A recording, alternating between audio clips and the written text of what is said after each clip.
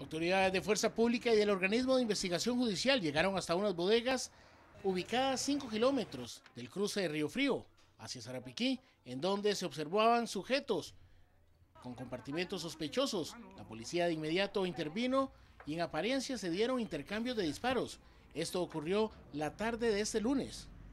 La mañana de este martes, un juez dio la orden a los agentes del OIJ con la colaboración de Fuerza Pública de allanar las bodegas las cuales encontraron tres contenedores, los cuales habían sido sustraídos de un almacén fiscal en Limón.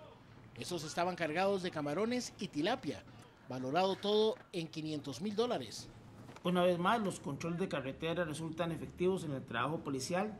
Esto propiamente en horas de la noche, eh, Fuerza Pública, en coordinación con la Policía de Control Fiscal, detiene un camión, el cual eh, portaba 520 cajas de producto de marisco, un producto que está ligado casualmente con el robo de contenedores en la zona de Moín tan solo hace dos días y en este trabajo policial se logra detener tres personas y con inteligencia de fuerza pública se le llega a un predio en la zona de Sarapiquí en horas de la noche se detienen tres personas más y eh, queda el lugar eh, debidamente custodiado propiamente para ya la intervención de la Policía Judicial y del Ministerio Público.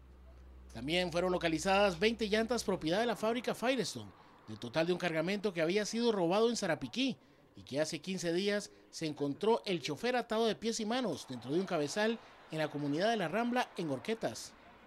Como parte de esas acciones, las autoridades detuvieron a tres sujetos identificados como Eric Alejandro Bermúdez, Nelson Sánchez Tenorio y Marvin Andrés Vázquez Agüero.